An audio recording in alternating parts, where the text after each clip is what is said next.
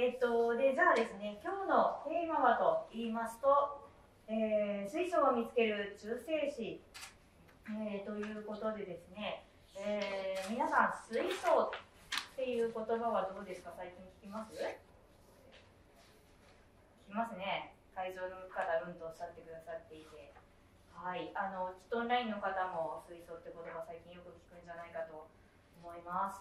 はい、あのやっぱりあの、まあ、気候変動問題の解決に向けて、まあ、キーワードとなっているところでありますよね。はい、えー、でですね、あのその水素を、えーと、じゃあ水素を見たいと思ったらどうするのかといったところで多分今までももう毎回参加してくださる方はちょっとよく聞いてらっしゃいますよね。水素を見たい時といえば G パークの中性子というのをですね、まあ、常連の方はよくご存知だと思うんですけれどもあの初めての方も、え、いらっしゃいます、えー、今日はですねあの先生がその辺りからですねあの初めての方にもあの分かりやすくですねあのお話あのそのところからお話ししてくださると、えー、思っています。はい。えーと、今日お呼びしているのは、えー、KEKJ パークの、えー、池田和孝先生ですね。はい。えー、じゃあ池田先生、どうぞよろしくお願いいたします。あのいつもの通りですね、あのどんどんあのお話の途中で質問を入れていただいて構いませんのでね。はい、ということで、じゃあ先生どうぞよろしくお願いいたします。はい、お願いします。えっ、と、声が入ってないか。入ってますか？えっと、先生の声はこれで入りますか？大丈夫かな？先生の声聞こえてますかね、はい、大丈夫ですかね、えー、それではご紹介ありがとうございます。えー、高エネルギー科学研究局 KK の池田和孝と申します。えー、本日は、まあ、ちょっと集まりにくいようなご時世ですけども、まあ、会場にも、それから画面の向こうにも何名か集まっていただきまして、誠にありがとうございます。それでは、今日はですね、私がこの水素と中性子のお話をしたいと思っております。よろしいですね。はい。えー、先ほど井上さんから、えー、ちょっと触れていただきましたけど、まず、えーと、今日はですね、水素ということで、本当にもう根本的なとこからお話ししたいと思います。水素ってそもそも何でしょう？で水素、まあ、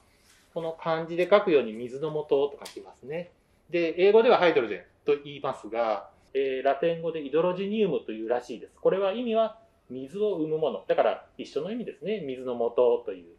で、まあ、水、ここ水滴を一応書いてるつもりですが、水の分子というものを考えると、もう本当はとってもちっちゃくて、まあ、これ10億分の1ぐらいの大きさのものです。原子レベルで見ると。で、実際にはこういうもので構成されている。で、その中身は、まあ、H2O というのは、まあ、よくお聞きになっている方もいらっしゃるかと思いますけれども、結局、水素分子あ、水素原子と酸素原子からなっているということをここでは示しております。で、水素原子と酸素原子というものがありまして、で、水素原子というのはどういうものかというと、まあ、原子ですから、陽子と電子というものから構成されているんですが、水素原子の場合は、その陽子が一つだけと電子も一つだけというものの構成されるのが水素原子です。一方で、この酸素原子というのはもっと陽子も中性子も電子もいっぱいあって、ちょっと大きさも大きいです。だからここはみ出してます。まあ、こんな形で、これがこういうふうにくっついて水になっているというものが、まあ、もともと水素に関する水の構造です、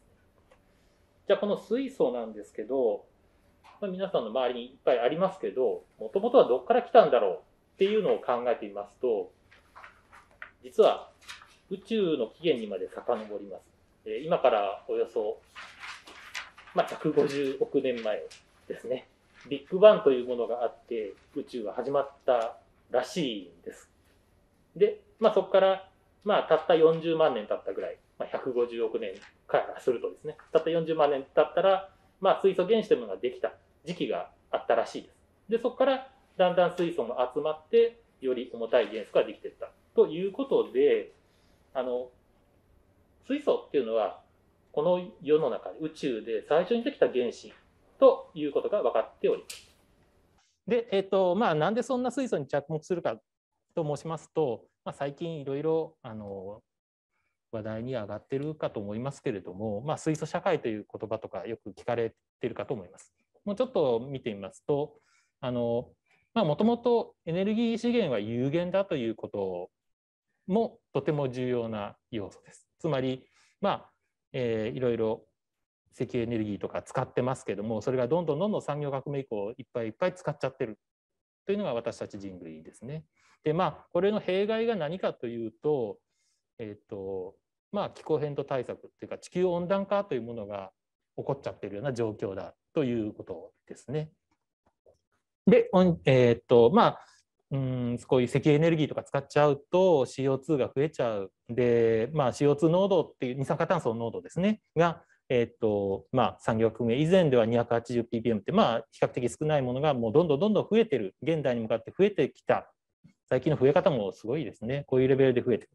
で何が良くないかっていうと温室効果ガスなのでこの二酸化炭素濃度が2倍になっちゃうと平均気温が2.3度上がっちゃうみたいなことを、まあ、先日ノーベル賞を受賞された真鍋先生がおっしゃったと。で実際最近の気候変動は皆さんも実感されてるんじゃないかなと思います。まあそういうような世の中になってきちゃってる。で、それに対して重要になってくるのが、えー、っと、まあ、水素エネルギーというのが、えー、っと取り出されるわけです。で、水素はあのちょっとここ字が、えー、っとこの会場では隠れちゃってるんですけども、まあ、効率が高いエネルギーであったりとか CO2 を排出しない、まあ、使うときにですねそういう利点があるので水素をエネルギーとして利用しようという動きがこの頃盛んに言われているわけです。なので水素は重要です。ここで私たちが注目しているのはですね、まあ、水素なんですけれども、まあ、J パークでやってる研究として注目しているのが物質中の水素に着目してやってます。で先ほど話したようにももちろんその水素をエネルギーに使うっていうことも関連しますが、まあ、その物質中の水素っていうのを考えるとですねいろいろな物質の機能と関連があるというのがあまあ面白いところかなと。例えばこう水素で物質中のまあ様子をですね、まあ、電子の状態なんですけどこれを制御したりとかあとまあ超伝導とかっていう関連もあるので、まあ、こういうのが面白いかなと思ってます。さっき一言超伝導と言いましたけど、まあ、超伝導でもこう水素がいっぱい入るとその超伝導の状態になったりとかそういうことが見えたりします。えっと、例えばこれは、まあ、あの鉄系の超伝導物質というものが、まあ、最近2000年以降、まあ、こういう研究が盛んに行われてきたんですけれども、まあ、こういうものをやってると。でこの物質、まあ、鉄を含むので鉄系というんですが鉄系のもともとは酸化物に対してこう水素を入れ替える形で入れていくんですね。でそうすると、これ、水素を入れるってことは、この場合ですね、あの電子の量を増やすことに該当します。なので、この真ん中のグラフで言うと、水素を入れるってことが、このグラフの左から右へ向かっていくことになります。そうすると、実は様々な別の特殊な状態が現れるっていうことをこの図では言ってます。縦軸は温度です。で、SC と書いてあるのが、えーと、スーパーコンダクター、つまり超伝導の物質ですね。で水素を入れていくとある水素量のところで超伝導物質が出るよっていうのが分かったっていうものですね。こちらはまあ同じようなちょっと似たような組成の物質で同じように水素を入れていくとある組成ある水素の量のところで超伝導が出るっていうことがまあこういうのをちょっと言うと発現っていうんですけどこういう機能が発現とか物質の層が発現するこういう状態になったりするものがあるというふうにえものが実際にあります。で、まあ、超伝導ですけど、まあ、その昔、まあ、1900年代ぐらいにこの超伝導というのが発見されました。えーと、水銀でカメリング・オンネスという人が発見したというのがことの始まりです。で、その時は水銀で、えーとこれは横軸がですね、まあ、年代ですね、1900年から現在2020年まで。それ縦軸がその超伝導になる温度を示してます。で、これケルビンっていうもので示してますので、実は室温っていうのが300ケルビン付近です。でそれよりもすごくすごく冷たいところで初めてなるような物質がやっと見つかったのが最初なんですけど、これもっと世の中で利用しようっていうふうに考えた場合はこんな低温なんて世の中に普通ないのでやっぱり温度を上げたくなるんですね。でそれでさまざまな物質をこうあの研究者がこう発見していったと。でただそのあのこの物質の特性もですねいろいろな定によって分かれます。あの金属の単体みたいなもの BCS 系って言います。あのこれは、えっと、これもノーベル賞を取られたバーディー・クーパ・シュリーファーっていう BCS のあの、まあ、お三方の名前の頭文字で、まあ、その方々がこの超伝導がどうやって起こるかどうやって発現するかっていうのを解明したので、まあ、そのお三方の名前がかたどられてるんですけども、まあ、こういうものにのっとったもの。でそれから全く違う銅酸化物系というものが出てきたりそれから先ほどちょっと言った鉄系というものが出てきました。出てきましたけどまだやっぱたかだか100ケルビンっていうまあ室温からしたらとっても冷たいとこにあんまり変わりはないんですけれど最近になってもう室温に近い超伝導物質というのが発見されてきました。えー、実はこれどれも水素化物系なんですね。え、っと硫化水素とかランタンの水素化物とか炭素と硫黄と水素からできたものみたいな。でまあ夢の超室温超伝導がですねそろそろ水素化物で実現されるかもしれないというようなことが、まあ、まさに最近のお話です。でもただちょっと気をつけなきゃいけないのはこうちょっとごまかして書いてありますけどあの 155GPa とか 170GPa これあの高圧をかけないとこの状態にならないってことでまだまだ特殊な状態ではあるんですけれどでも温度を見たらもう本当にほぼ室温ちょっと冷たいぐらいの、えー、そのぐらいでできつつあると。まあこういうのができれば例えばあの超電導何が大事かっていうとやっぱその私たちの世の中の送電つまりどっか発電所からこう電気を私たちのところに送られてきますけどその送電ロスというのがとっても大きいんです。とってもって5%ぐらいなんですけどこれがどんだけ大きいかっていうとまあ大体ですね原発5箇所ぐらい火力発電所の、ま、全くマックスパワーが出る火力発電所もやっぱ同じぐらいで 5, 5施設ぐらいが実はロスとして無駄になっちゃってるぐらいの量なんです。だからそれを超電導というものを室温でもしできてその送電ロスをもしなくせたらまあだから単純に言うと原発5個減らせるというかそういう計算にはなります。まあまだそのそんなにすぐじゃないですあのそういうところにも生かされるのでやっぱり皆さんまあ頑張って超電導というのをこう作ろうとしてると。あのそれもやっぱり送電ですからあの室温じゃないとそれ室温でそういう状態になってくれないとやっぱりダメなのでなんでそういうものに対してもやろうとしてると。でそれが水素化物でもしかしたらできるかもしれないですねというようなそういうお話です。ということで、えっ、とまあえーと、いろんな機能というのも重要かなと。というふうに考えております。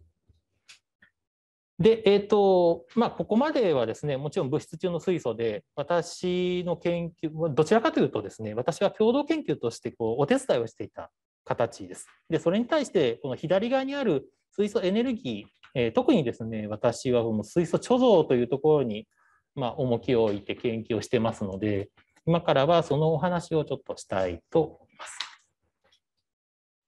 はい。で、私がやってるのはこう水素貯蔵合金、貯蔵材料の開発とか、まあ、その水素出入りする機構っていうんですけど、メカニズムとも言ったりしますけど、どうやって水素が入ってどうやって出てくるのかっていうのをま調べているというものです。で、えーとまあ、水素吸蔵合金、まあ、平たく言うと金属に水素を吸わせるんですが、まあ、貯金箱みたいなものですねと。で水素は実は金属の中にいた方が居心地が良い場合があります。金属の種類によります。であとは、使うときにちょっと温めないといけない。でも、まあ、温めさえすれば水素は出てくるというものです。で、材料にしては値段が高く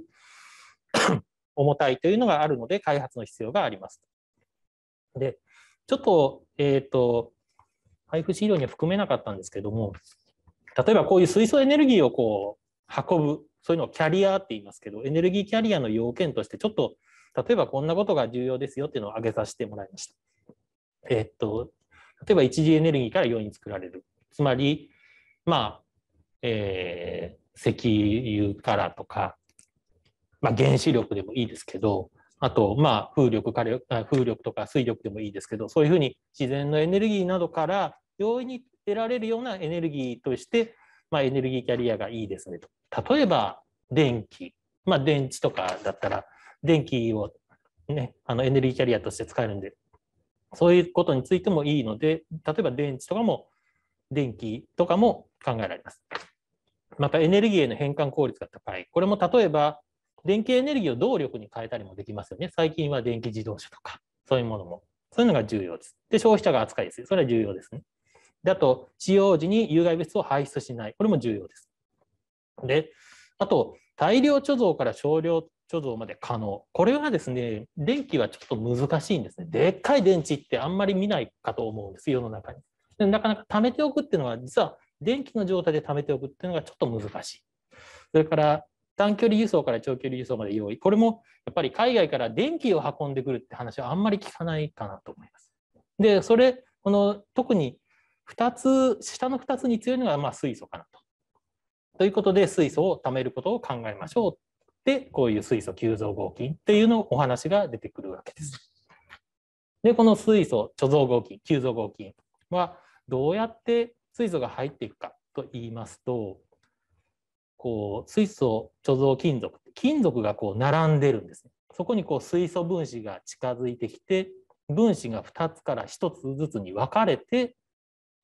金属原子の隙間に入っていくこういう現象が実際に起こります。でこういうのが水素急増っていうんです。でな、えーと、空間に入っていくと入っていって何も起こらないわけじゃなくて入無理やり入っていくので実はその金属の隙間がこう広げられてしまうようなことが起こります。まあちょっとまた別の話題で水素をもうちょっと身近に感じようと思った時に、まあ、こういうのはどうでしょうでこれはだからそのえっ、ー、とまあ成果が渡ってやってきたはるばるやってきてこうやって渡ってきたトーチですよね。でトーチこれあの皆さんもテレビでご覧になったかと思うんですけど、手で持って走ってましたよね。で、あれってどうなってるかってご存知ですかねという、このトーチの中身。で、それを見てみますと、こんな構造になってましたと。で、炎が上で、まあ、灯るんですけれども、その下はですね、実は水素急増合金が使われてました。まあ、実は全部じゃなくて、あの東京とか福岡、あ福えー、と福島、それからえー、愛知県の一部かな？で使われたらしいですけどまあまああのそれでも一部では使われたと。で実際にこの水素急増合金に貯められた水素がこう燃えましたと。まああのあのえっ、と会場はなんだ？国立競技場か、まあ、国立競技場でも水素の炎はあの灯されましたけれども、こうやってトーチでも実際灯されたと。まああの国立競技場はもうちょっと違う形で水素は蓄えられてたんですけどもその当地では少なくとも、えーと、一例としては水素急増合金が実際使われてたということです。うん、まあ、こういう水素急増合金に、まあ、電池からの熱の供給が必要だったんですけどもそれを熱を加えてとにかく水素の火が燃えましたと。というのを皆さんご覧になってたということです。ただですねあの実際にこれ水素が燃えてるのを見てたかというとちょっとあのトリックが あって実際には水素の炎というのはですね無色で見えません。でもこれオレンジに見えますよね。何かっていうとあの重曹をちょっと混ぜてですねあの炎っぽく見せようということを実際にやられてたみたいです。あの国立競技場の炎もそうされてた。なんで見えます。見えますが、ちょっと違う。ということで、実はですね、炎として実は重曹が燃えてるのが見えたと。ということで、こう見てもですね、水素自体はまだ見えてないんですね。実は。どの。それで水素をどう見ようかっていう時に、やっと出てくるのがこの中性子というお話になってきます。どうしますかね一旦あれですか見る話の前にちょっといろんな水素の機能出てきて、ね、あのすごく私も興味深かったんですけどなんか一旦見る話の前にちょっとなんか聞きたいことはありますかね？水素を貯蔵するっていうのは、我々あ私なんかは液体にしてそれを持ち運べばいいと思うんですけどこの物質にこう入れて貯蔵するのはどんなメリットがうんうん、うんあいいですね。やはり、あのまあ、そうですね、水素を貯蔵するって、まあ、他にも高圧もあったり、いろいろあるんですけど、どれもメリット、デメリットがあります。で、おっしゃっていただいた低温というのはですね、実はボイルオフといって、あのまあ、あのさっきの超伝導じゃないですけど、20ケルビンっていうすごい低温に冷やさないと水素って液体にならないんですね。あ圧力かけるいえいえ、圧力ではなくて、温度を20ケルビンというすごく低温まで下げるんですけど、まあ、そういう状態を維持しなきゃいけない。でまた、維持してもですね、あの確か聞いた話だと、1日1%ぐらいはどんどんなくなってっちゃう、気化してっちゃう、つまり無駄になっちゃうんです。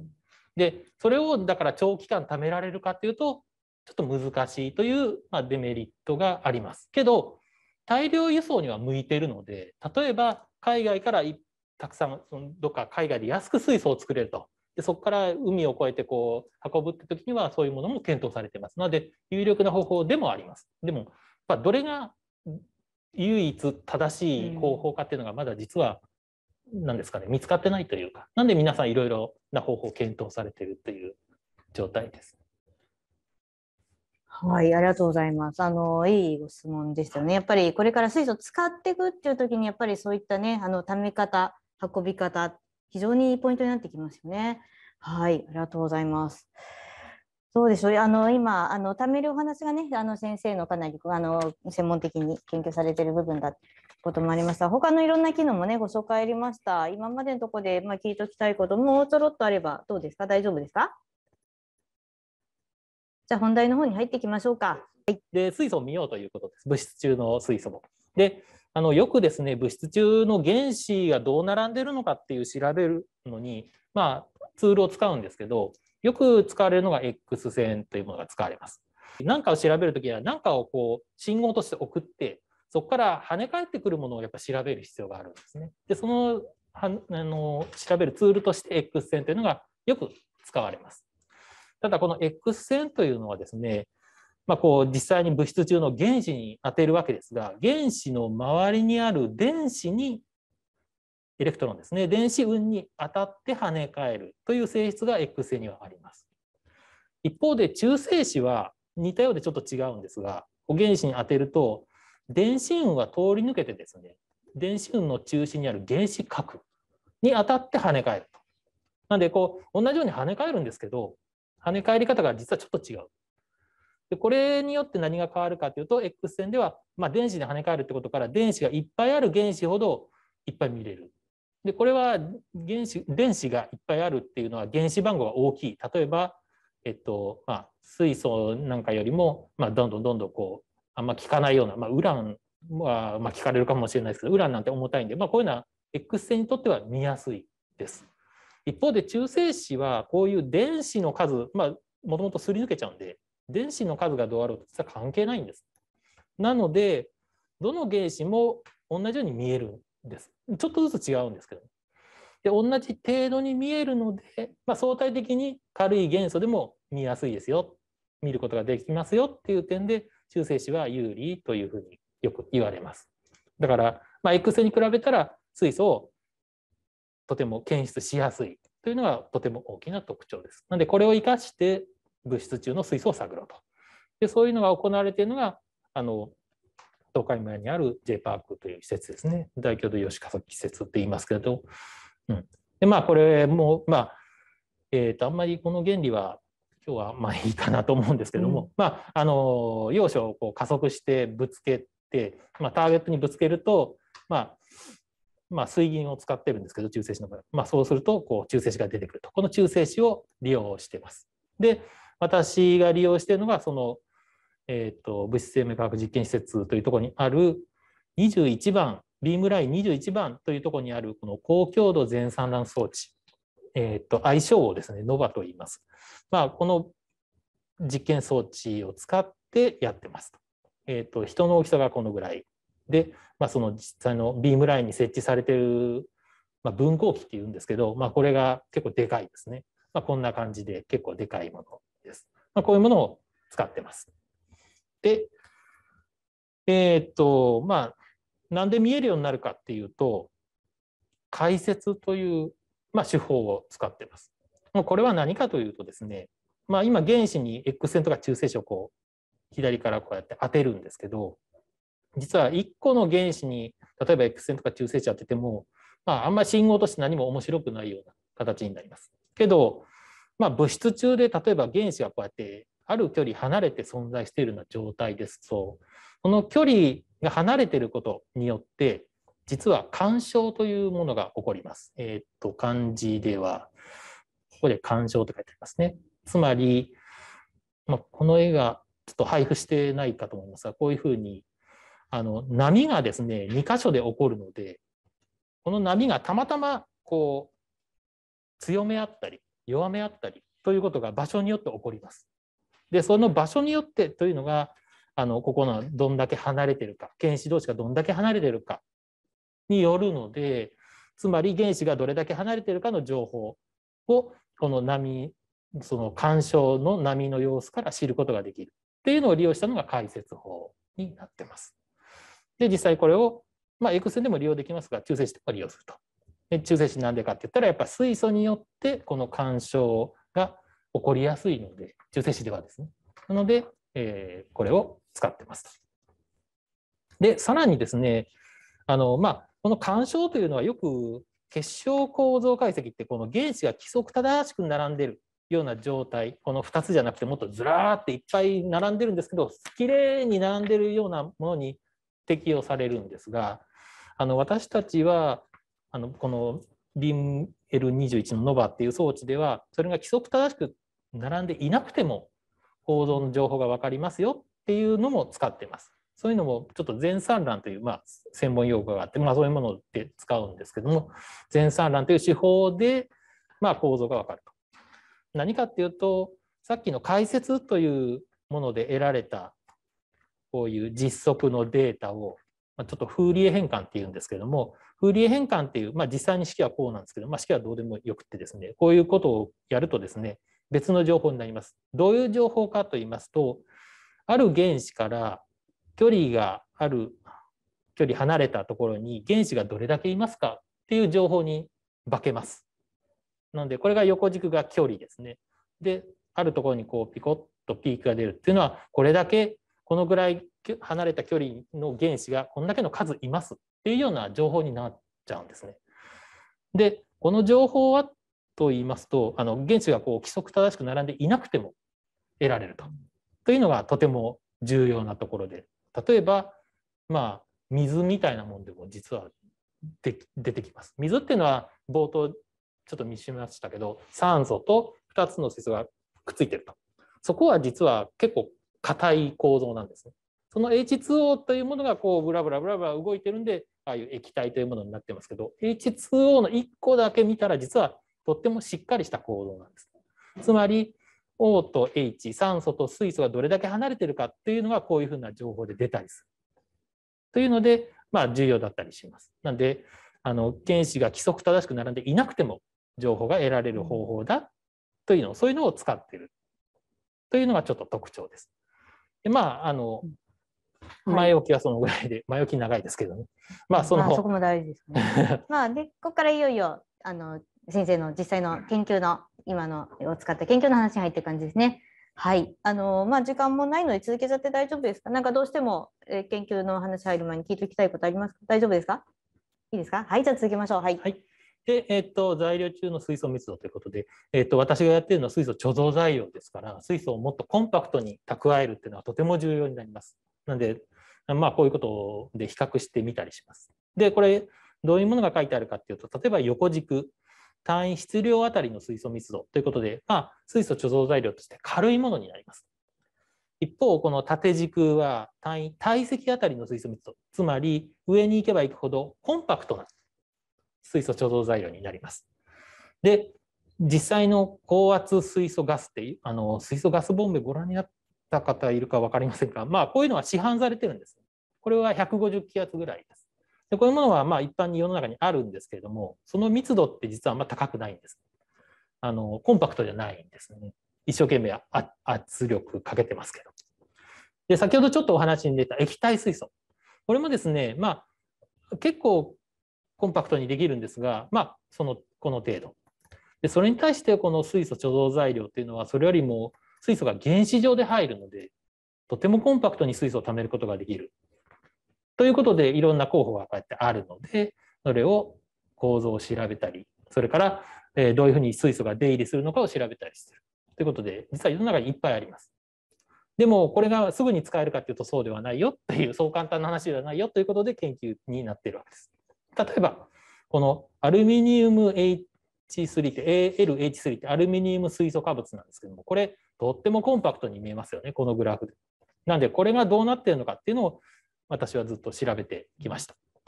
でまあ、これ調べるにあたって世の中にないものなのでこう合成をするんです。ま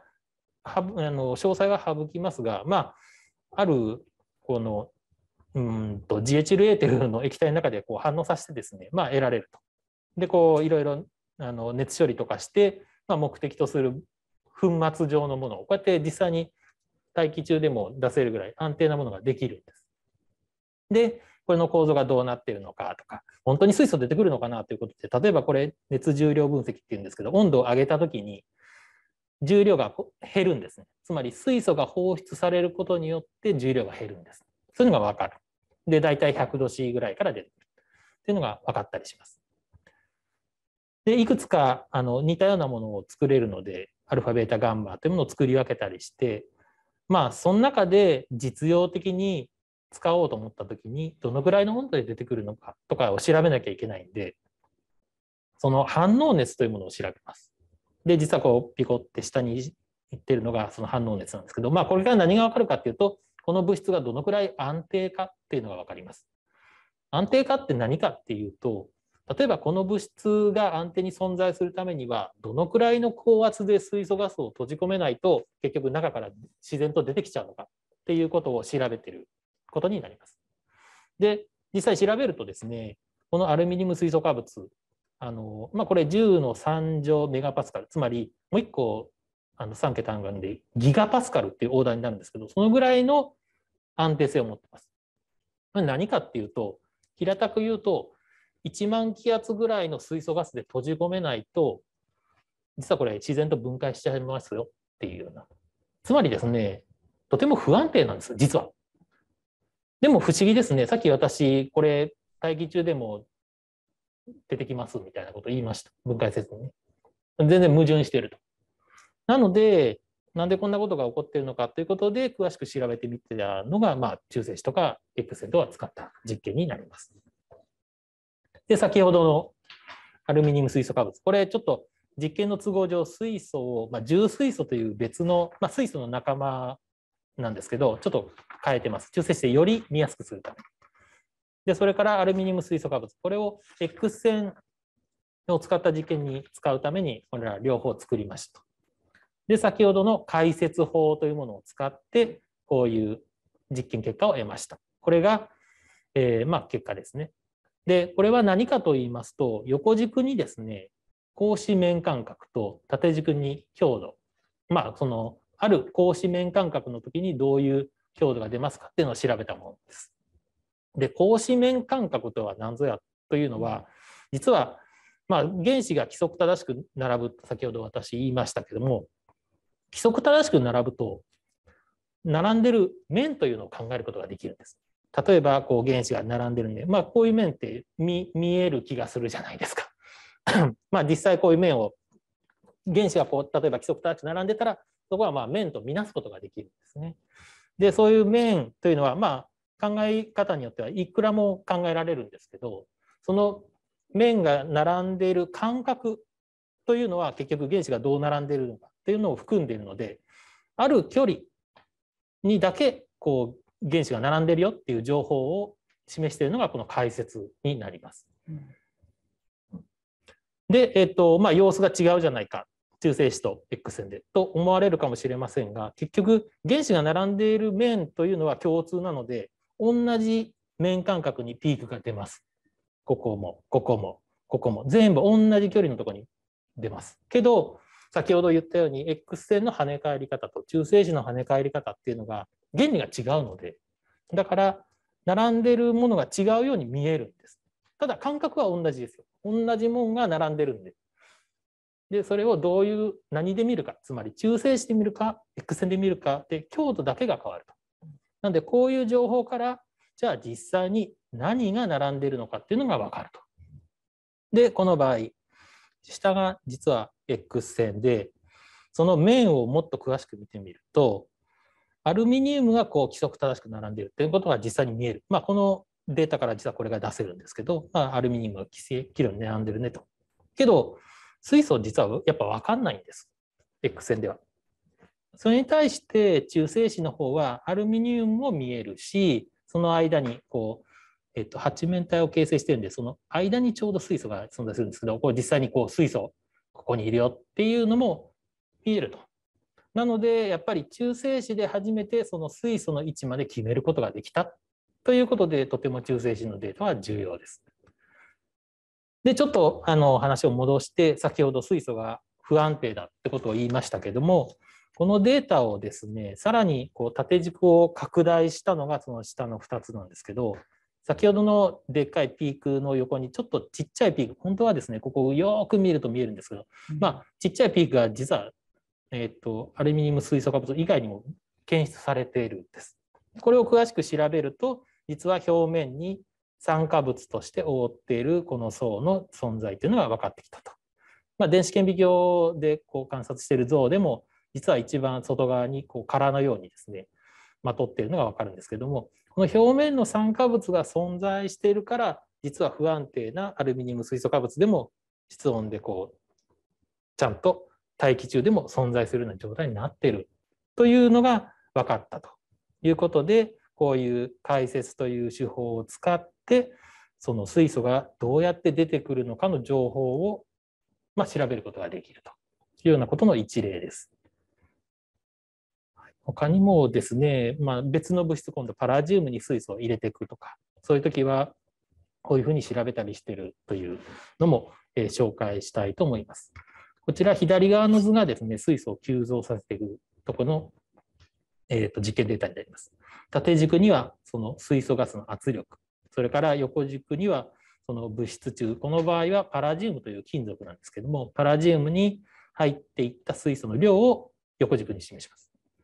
でこう最初ここから始まって水素ガスの圧力をこうかけていくと、まあ、だんだん圧力上がっていきますがあるところで上がらなくなるんです。で逆に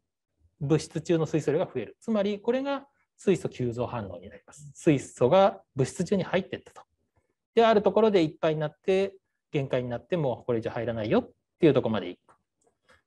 でそれを繰り返すというかその今度上げたガス圧を下げていくとまた今度は物質中の水素が減っていくとこが出るんですね。これが水素放出反応。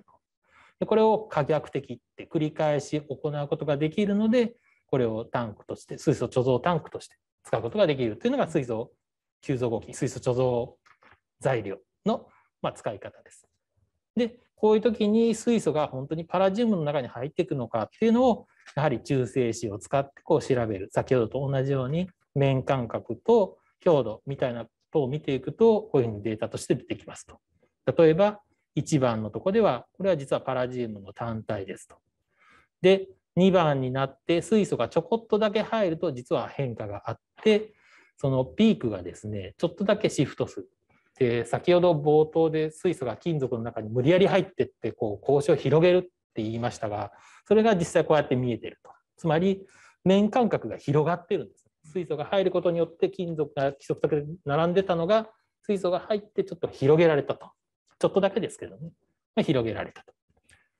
というのがこういう状態。でさらに水素が入っていくと今度水素同士が新たな面を作るので格子の面を作るので別のところに解説のピークが出ます。でまたこういっぱいまで水素が入ってでそれが水素が放出されるとまた元に戻っていくというのが実際に観察されると。でこれを J パークの私たちのビームラインとっても中性子の強度が高いのでこれを一気に行うことができるんですね。一気というのはどのくらいかというと0秒から10秒っていうのをここに時間軸で示しましたけど、まあ、数秒の間にさっきのもともとのパラジウムの面間隔からちょっと水素が入ることによって押し広げられたのが、まあ、どこで水素を入れたかな、まあ、ここぐらいで入れたんでしょうけど数秒でちょっと広がって。でさらにもう数秒経つと別の水素の面間隔ができるって言いましたけどそれが並んでる状態がさらに数秒後23秒後ぐらいにも起こるみたいなのが分かる。というのがこのちょっと色味で見るんですけどもこういうピークがあるとこ赤く見えるんですけどもこういう状態に移っていくと。でこういうのも秒単位で実験できるのがあの J パークの、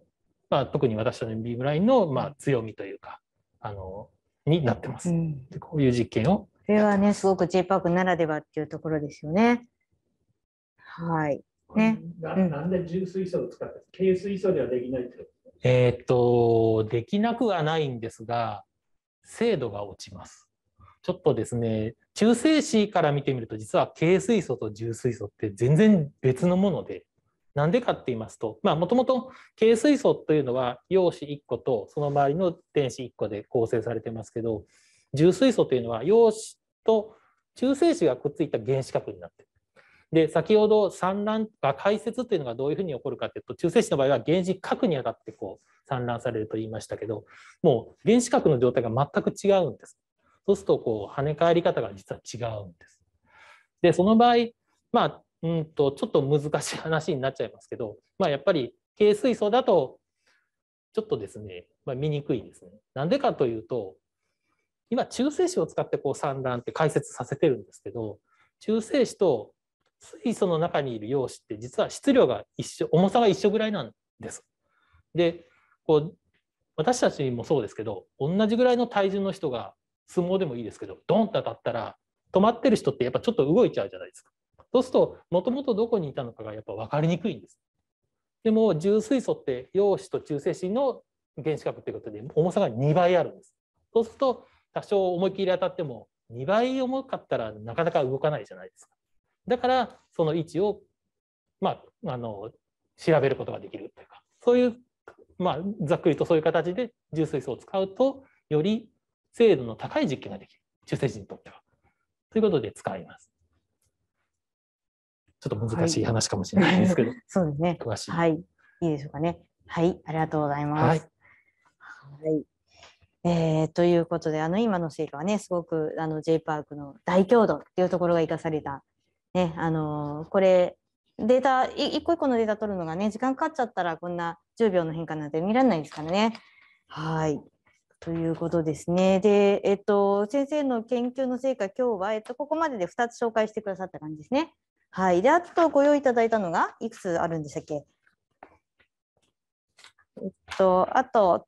あともう、えっと、もう2つぐらいだったかな、もう2つぐらいですね。まあまあはい。ですね。はい。えっと、ままだもうちょっと時間ありますね。ちょっとじゃあ、うんえっと、3番目の正解いってみはいましょうか。頑張っはいてやっちゃはいいましょう。はい。で他にもですね水素がどうやって出てくるのかというのを調べた研究をちょっと紹介させてください。えー、とこれはですねリチウムアルミニウムアミドっていうまあよくわからないですけどリチウムとアルミニウムと窒素と水素からできたような物質がありますと。ここでも重水素を使っています。でこれをですね実は温めると水素が、まあ、この場合重水素ですけどこう出てくるのでやっぱりこれを水素貯蔵材料として使えるんじゃないかと。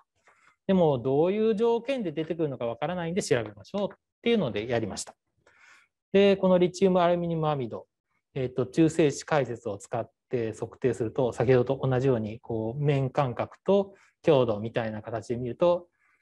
えーこんな風に見えます。で、これは結晶構造な、結晶なので、あのとても鋭いピークが見えて、こういうふうに原子が規則正しく並んでるんです。で、これはいいでしょうと。で、これを、これに対してですね、こう、温度を上げます。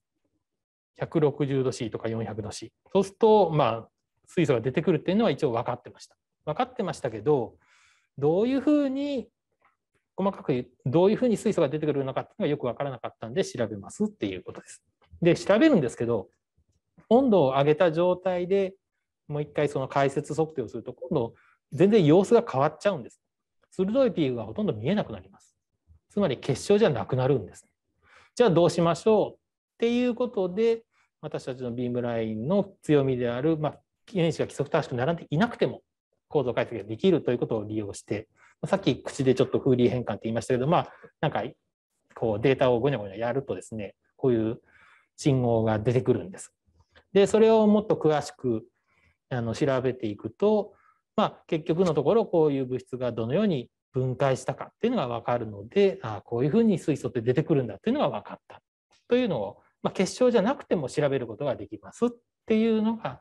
こういうふうに使われたりしてます。はい、ね、今のこの3番目の成果っていうのは今度はあのノバってねさっき名前あのビームラインの21番のノバという先生が担当されている装置ならでは、ね、あの結晶じゃなくても見られるというところが生かされた成果でしたよね。はい、えっと、あ、ちょうど7時になりそうだけど、ちょっとね、あとちょっとのところで2回目っていうのも微妙ですからね、ちょっとやってみましょうか。あの、はい。あの簡単に言います？はい、はい、ははいい、はい、じゃああとは最近の成果のちょっとしたはい。紹介だけさせていただこうかと。はい。でまあ水素貯蔵材料の開発をていろいろお手伝いしたり、まあ、自分でやったりしてるということで例えばこう先ほどちょっとアルミニウムと言いましたけどアルミニウムと鉄で、まあ、水素を蓄えることもできますっていう構造の研究をしたりとか。他にもですね水素が実際あの水素がとっても高密度にくっつくような物質もできましたとか。他にも、まあ、昔から水素貯蔵材料として知られているものですけどやはりその水素急増放出のメカニズムがわからないっていうものを、まあ、中性子、まあ、中性子だけじゃないんですけど X 線もいろいろ使ってですねこう分かってきたということでいろいろ水素貯蔵材料に関して、まあ、また水素貯蔵材料に限らないんですけど、まあ、高密度に水素が入る物質というのをいろいろ調べてきてます。で成果もまあ、おかげさまで出てきてますっていうようなことをこちらでは紹介しています。でまああのちょっともうまとめになってしまうんですけども、まあ、今日のお話として、まあ、水素はあ新しいエネルギーとかまた機能性材料のキーとなる元素ですよと面白いですよでもその水素を調べるにはやっぱり中性子がとても有力なので J-PARC ってとても役に立ってますよということで、えー、と J-PARC では世界トップレベルの中性子利用をしてまあ、水素貯蔵材料などのさまざまな物質の構造研究に活用されていますというお話でした。はい、はいありがとうございます。あのちょっとね頑張ってなんとかはいちょうど、えー、帝国ですね。どうもありがとうございます。はいあの最後のね4番目の成果はちょっとねだいぶ駆け足になっちゃいましたけど、これまさにあの水素を貯めるねあのなんだエネルギーとして利用していくっていう時にはすごくあの重要なあの今後あの貢献していくといった成果になりますよね。でこれはあのおっしゃってくださったようにあのついこの前プレスリリースをした成果ですよね。えっとあれ何月だっけ？えっと先月ぐらいでしたっけね？えっと先々月ぐらいかな？ねはいあの、はいちょっとごめんなさいあの端折っちゃったのでよかったらあの J パークのホームページのプレスリリースのところにねこの成果載ってるのでぜひ帰ったら見てほしいと思います。はい、えーということで、はい、あの例によってあの今ちょうど帝国なのであのこの後のご予定がある方は適宜抜けていただくことになるんですけれどもあのせっかくなのでもうちょっとですねあのご質問タイムを続けたいと思います。はい、今ですね、うん。あまあ、今実験中で少しずつ成果が出てきてるところだと思うんですけど、現実問題実用化されるのはいつぐらいを予定、予定っていうか、予定はないでないのかもしれないですけど、うんいつぐらいがいいと思ってるんですか？えーとまあ、この水素貯蔵材料実はまあ部分的にはもういろいろ使われてきてます。あの先ほどの成果の統治も実際そうですし世の中に実はあるところではあるというか、うんものです。例えば他にもですねあのプリウスって自動車ありますよね。であの中に当初一番最初、まあ、作られた時の使われた電池ってニッケル水素電池っていうものなんです。あれも実はですね水素のまあ、水素がこう正極と負極をこう行き来するようなものが使われてるんですけどもその負極にはこの水素急増合金が使われてます。なので実はちょこちょこ使われてるけどあのその後リチウムイオン電池に変わっていったということで性能的にちょっと負けちゃったりしてるんです。なので実用化は一部なされてるけどまあ他の、まあ、リチウムだけがライバルではないですけどそういうところに勝とうとするにはこういう開発研究はあの引き続き継続して進めていかないとうん、負けっぱなしになっちゃうよっていうところですかね。なので世の中にあるのは一応あるという。はい。はい、どうぞ。いわゆるそのアルミと鉄の合金と書いてあるんですけど、はいアルミと鉄のなかなか合金化しにくいと思うんですけれども、そうですね。特殊なあれで、そうですね。おっしゃる通り、よくごご存知ですね。あの、はい、普通には作れません。で、やっぱりこれは何、どうやって作ってるかっていうと、高圧合成法というのを使ってます。すごく、まあ、圧力をかけて押し込めて初めて作れたもの。なので、まあ、そこらにパッと作れるかっていうとなかなか難しい。だから、これもすぐに実用化になるかっていうとなかなか難しいお話なんですけれども、まあ、あの、でもこういうものがだんだんいろいろな解明につながって、そうです、そうです、そうです。はい、はい、おっしゃる通り。はい。ちょっとここに条件は書いてませんけど、そうですね。600度 C とかで何万気圧っていうような、あーもう本当に、だからできるもんってすごくちょっとなんですけど、なんでそれを実用的にって言われても、うん、すぐには。でも、まあ将来的にはなんとか使い方にしましょうかっていう。ちょっと話はそれますどうぞ。はい。す水素を燃料とかいろんなところにするのに、もともと水素を作ること自体が大変だと思うんですけど、今は安価に安く水素を作る技術ってあるんですか？いやーあまりそんなには進んでないかなと思いますね。例えば日本で水素を得ようと思ったら、まあ、うん、余剰水素を利用しようとかっていうお話があったりしますね。まあ、鉄鋼系の工場とかでなんか余って水素が出たりすることがあるらしいですけど、出たりとかするらしいです。で、まあ、なので、あんまり技術的には進展がそんなにないと思うんですけど、水素を作ろうという時でも、やはり、まあ、今大事なのは化石燃料を使うのではなくて、やはりその再生可能エネルギーを使って水素を得る。何かっていうと、まあ、水素はやっぱり水の電気分解で得られるので、あ、電気分解入れたんだそうですね、そういうものを使うんですけど、でも、それ、水を電気分解するときに化石燃料を使ってたんじゃあんまり意味がないので、でなるべく太陽光とか、それから水力とか、でそういうのも使うと。でもですね、ちょっと難しいのが、そのやっぱ太陽毎、毎日晴れじゃない。うんで、水力もやっぱこう変動があるじゃないですか。で、そういう変動があるときに、やっぱりそのうまくエネルギーを貯めにくいんです。で、その時に電気として貯めにくくって、やっぱりこう発電したものをやっぱり水素に変えて、そういう形で水素を蓄えるっていうのはやっぱりまた水素貯蔵材料って生きてくるので、そういうところにもこれからはよく使われていくんじゃないかなと。うん、先ほどのあの液体水素の話もありますけど、ボイルオフってちょっと言っちゃいましたけど、こうやっぱり日に日毎日1%ぐらいガスとして出てくるんですけど、それをじゃあ水素貯蔵材料置いとけば吸収してくれるんです。つまり無駄にならないんです。なのでそういう使い方ができたりするので、まあ今後はもうちょっと広がってくるんじゃないかなと期待しているところです。はい、ありがとうございます。あの今のもね、あのエネルギーとしてこれから使っていく上で非常に重要なポイントの質問でしたよね。ありがとうございます。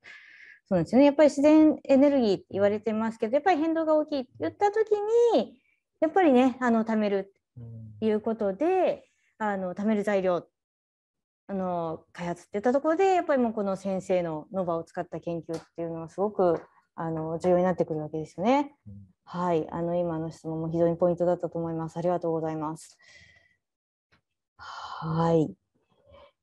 えーっと、いかがでしょうか？そうしたね、あのやっぱりあのあの水素エネルギー、あのそういった未来社会っていうことについてね、皆さん今日なんとなく考えていただけたとしたら嬉しいなと思います。先ほど、うん。中性子だからうん。原子核に直接当たるので、うん。原子核はものすごい小さいですよね、原子に対して。うん。だから相当大強度じゃないと、うまくデータが得られないっていうような感じがうん。私なんかしますね。だからどれだけ大強度なのか、うんいまいちわかんないですけど、うん相当強度が強いんでしょうね、J パックさん。あねそこもポイントですね。はい。そうですね。やはりその、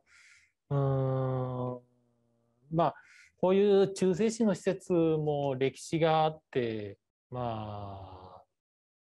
それこそ桁違いにこうどんどんどんどん強くなっていくっていう、そういう競争もやっぱりあるんですね。うんで、日本で一番強いんですか日本はうん今はそうですね、世界最高強度と言えるぐらいの状態にはあります、今は。で、うん。まあこういう施設同じような施設がですね例えばアメリカとかあとはイギリスにあったりするんですけれどもまあそれらよりもちょっと高いぐらいかもしれないですね今日の強度ってただうん他にもですねこれからやっぱそう別の施設をヨーロッパでこの連合体で作ろうとかですあと中国の方も頑張ってこれから作ろうとしてますのであのやっぱこういう装装置っていうか施設も発展していかなきゃいけないと。今は、うん今はいいんです。今はあの本当に世界トップと思言えるぐらいなんですけど、